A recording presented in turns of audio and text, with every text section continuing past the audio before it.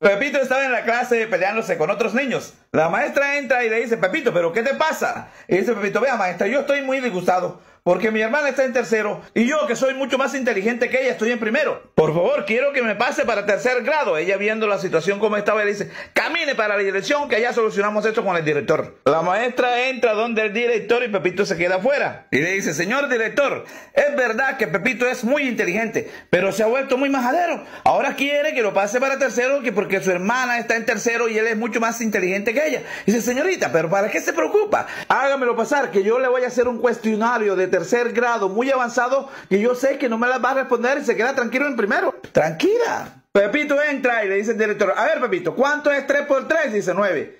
6 por 6, 36. Y el director lo tiene durante una hora completa haciéndole preguntas a Pepito y todas las responde bien. Llama a la maestra y le dice, maestra, este niño es muy inteligente. Este niño no debería estar en primero. Y le dice ella, señor director, con todo respeto, usted me permite hacerle unas preguntas a Pepito para ver qué me responde delante de usted. Y dice, sí señorita, puede preguntarle lo que quiera.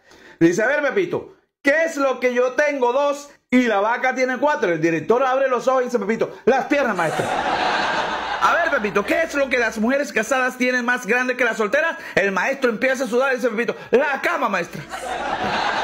A ver, Pepito, ¿dónde las mujeres tienen el pelo más encaracolado? El maestro empieza a temblar y dice, Pepito, en África, maestra.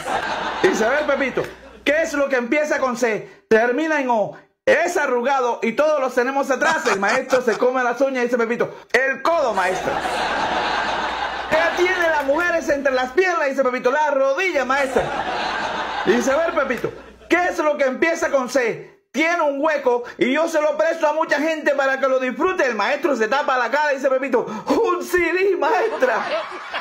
El maestro ya desesperado dice, mire señorita, a este degenerado me lo pasa para sexto grado y a mí me pasa para primero porque yo fallé todas las preguntas.